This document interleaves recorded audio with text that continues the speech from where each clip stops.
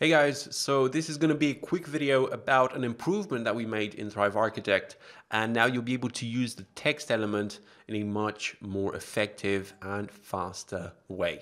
So what happened is that up until now we basically had three elements that allowed you to add text on a page, right? You had the normal paragraph element, then you had the heading and then you had the plain text element.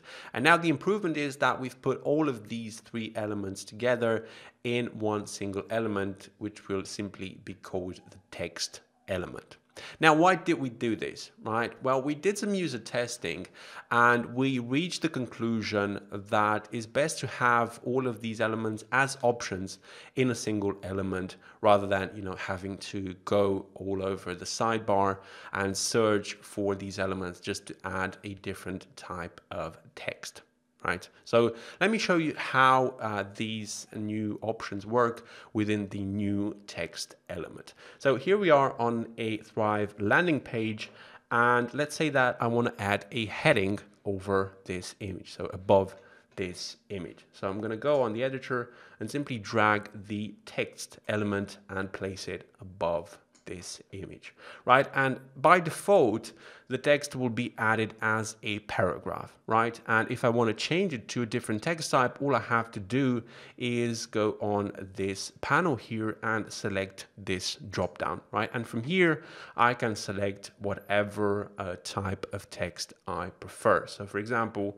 if I choose to display a heading, I can simply select heading one, for example, and there you go. And then of course, you know, if you change your mind, you can always go back, select a different type of heading or convert it back into a paragraph, right?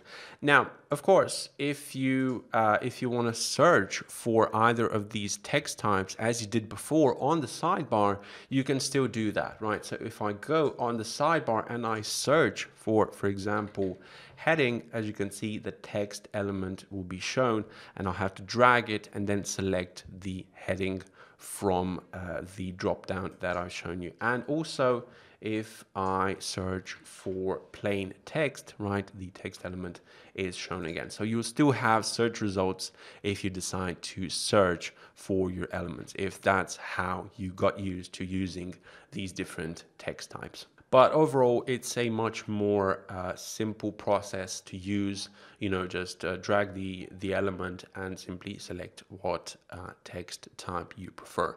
Now, to give you the rundown of when should you use these three text types, uh, paragraphs, I'm sure you, you're familiar with them, right? Anyone is. You can basically use them to create uh, blocks of text, right? Such as these ones here. Basically everything that you would write on a blog or on a page right, similar to the uh, example content found on this page. And then second of all, headings, of course, you're familiar with them as well. You have different types of headings. Now they have their benefits content-wise, you know, you are able to uh, gain the visitor's attention from time to time if you use them in your content, but also uh, they're good for SEO, right? The Google search al algorithm is able to recognize your headings on a page and then your uh, page will be easily indexed on Google because of those headings. Of course, if you use keywords and all that stuff, right? Um, and last but not least, the plain text. Now, this is a bit of a tricky one because you don't really use it on a page to create content with it, right? Instead, you use it on certain design elements, for example, because you see, when you add a paragraph element, it comes with certain uh, spacing, right? Because this is uh, made in order to allow you to create content more easily.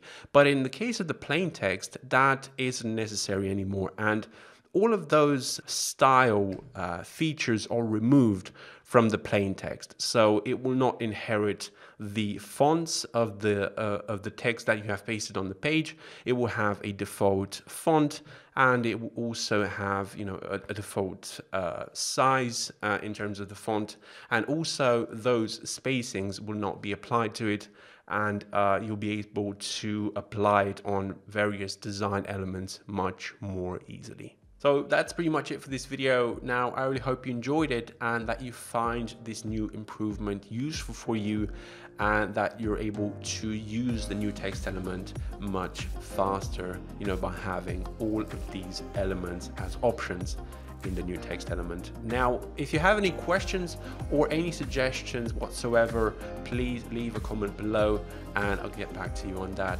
Until the next time, feel free to browse our channel and subscribe.